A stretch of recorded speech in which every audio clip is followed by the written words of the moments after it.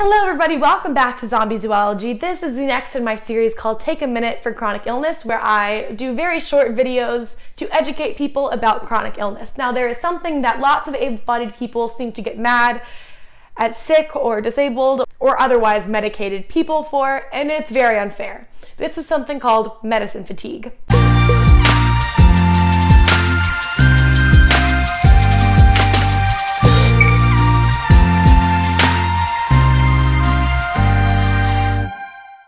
Medicine fatigue is when you are on some sort of medication that you have to take every day for an extended period of time. I'm not talking about like a 10 day course of antibiotics.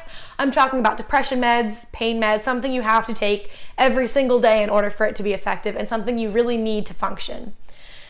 Now, there's lots of criticism that disabled people will get when they go off of their meds. And there are lots of reasons a disabled person will go off of their meds. I'm not talking about when a doctor will switch you from one med to another. I mean when, for seemingly no reason, somebody who needs a certain medication will stop taking it. And people around them often be very judgmental of this decision, or not decision, just this, uh, this course of action. And oftentimes people will get mad at the person who's gone off of their meds. I know it can be really frustrating to see someone you care about kind of self sabotage in this way. But I want you to understand that there's this thing called medicine fatigue. If you are on a medicine you have to take every day, at some point or another, you're going to experience medicine fatigue. And that is where, for whatever reason, you stop taking your meds. And it is not because you sit there and think, yes, I think this is going to be a good idea to stop taking my meds. No, no one thinks that, especially not if the meds are working.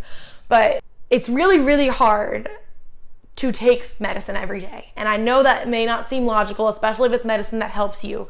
But after a long time of taking medicine, you start to question whether it's working at all because it makes this baseline your new normal.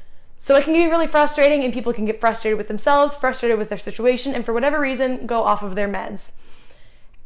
And as soon as you're off of your meds, it becomes very hard to get back onto your meds because the kind of meds that you need to take every day to work tend to be really hard to get back onto. They tend to have really severe side effects when you first start them.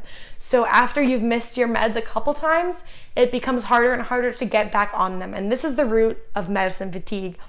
And it's a really unsettling thing because it feels like you didn't make the decision, but somehow it happened, and now everyone is mad at you, and your body is mad at you, and your doctors are mad at you. But if you start it again, you know you're going to be miserable, and at some point, you just have to make the choice to be miserable to go ahead and take the medicine and grit and bear it and be out of commission for a couple days while you deal with the side effects. And it's so frustrating. The last thing a disabled person needs while dealing with getting over medicine fatigue is for outside forces to be mad at them. That's just going to put more anxiety on it, more stress, and is going to cause them to shut down more. If you force them, them to suddenly take all of their meds at once, they're going to get very, very sick, and you don't want to be responsible for that. So, that is medicine fatigue. Now you know some of the pitfalls of it and the way it can be pretty devastating to somebody with a disability. And I hope this will help you in your interactions in the future. And until next time, hoard those spoons, guys.